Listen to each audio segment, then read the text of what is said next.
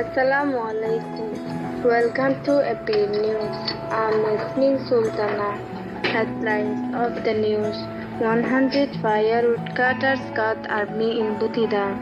Six arrested from Yarnangata Vice Joint Forces in Nondemondo, 22 August 2017. Now into the details. Buthidaung. At least 100 Rohingya firewood and bamboo cutters were cut by Army of Battalion 552 under Buthidaung Township while they were going to forest on 21 August 2017. Search site. They were taken to Battalion 552 and tortured by Army severely in the custody. Among the victims, some of them were female members who are mostly widowers and girls.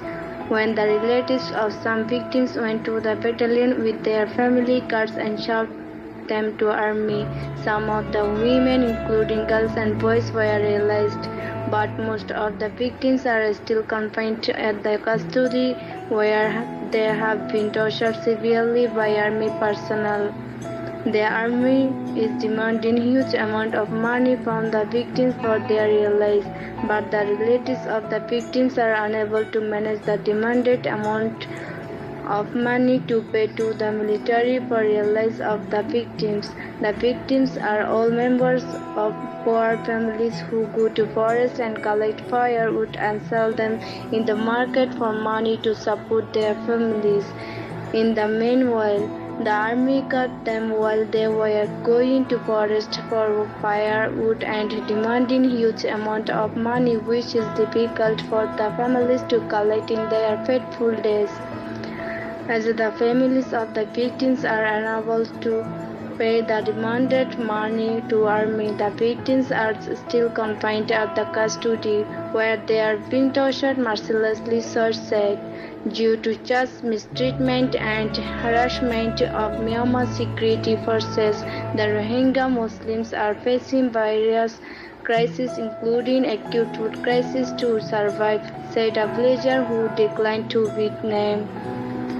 At least six innocent Rohingya civilians were arrested by Burmese Joint Forces of Military and Border Guard Police BGP from Yernangata village tucked under Sector 2 Maungdaw North on 21 August 2017. Source said on 21 August at around 1 pm, about 100 joint forces of Army and BGP from Camp 5 under Sector to surrounded the Yanangata village and reportedly arrested six innocent Rohingya residents from the village.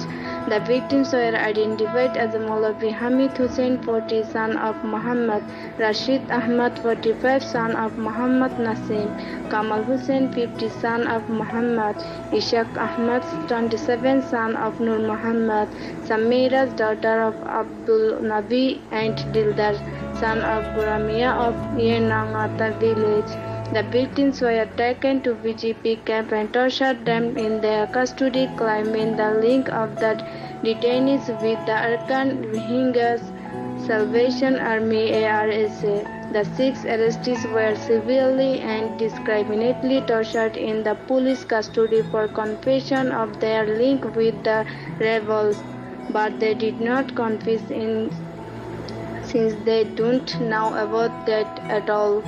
Source further said the six detained persons are daily workers for which who somehow support their families with their little income. Among the six victims, there is a woman who was also beaten up by army whose physical condition is stated to be bad. The villagers are also in tribal situation following the continuous raid of joint forces who arbitrarily arrest people and torture severely, said a resident. The fate of the victim is unknown if they have been released or confined at the custody of BGP. Thank you for listening AP News. Allah Hafiz.